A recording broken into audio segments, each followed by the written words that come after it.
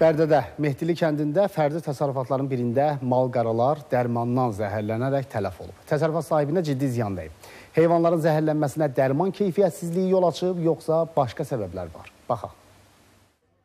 Bərdədə məskunlaşan Laçın rayon sakini Yasəmən İsmailovaya məxsus təsərrüfatda 4 baş iri buynuzlu heyvan tələf olub. 6 baş heyvanın vəziyyəti ağırdır. Yasəmən İsmailovanın sözlərinə görə hadisəyə Baytarlıq aptekindən alınan dərman preparatı səbəb olub. Burada bir təsərrüfatla dolanıram. 5-10 dənə dana alıb belə bağlayıb dolanırıq. Həmişə də o həkimin əli ilə yuyulur mallar. İndi də bu günləri yuyub, qədərin də özü deyib, belə qat, belə yu, belə elə.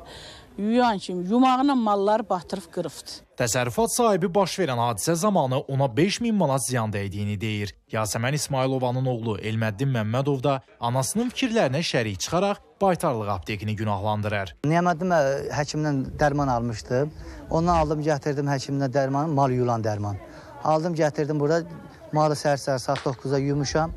Ondan sonra mal bax belə qırıldı. Dördü ölüb, qalan hamısı 10 dənəsi də qalan vəziyyət pisdir. Tərsə saat 9-da zəh vurmuşam ki, həkim nə qədər qatım? 16 litr suyu qatmışam, 13 13 qram. O 15 qram demişdi, mən 13 qram qatmışam. Dərmanları satan Baytarlıq aptekinə yollandıq. Aptekin satıcısı Niyaməddin Fətəliyev müsahibə verməkdən imtina etsə də, şifahi olaraq bildirdi ki, müştəriyə Niastol və Krialin dərmanları verib ki, onun da keyfiyyətində heç bir problem yoxdur. Baş verən hadisəyə gəldikdə isə təsərrüfat sahibini günahlandırdı.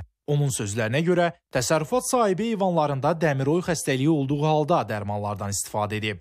Hansı ki, dəmiroy xəstəliyi olan heyvanlarda bu dərmanlardan istifadə etmək qəti qadağandır və ona dəyən ziyanı heç bir halda ödəməyəcəyini qeyd etdi. Aslan Məmmədli, Vicay Cahangirli, İsmail Əmirli, ATV xəbər.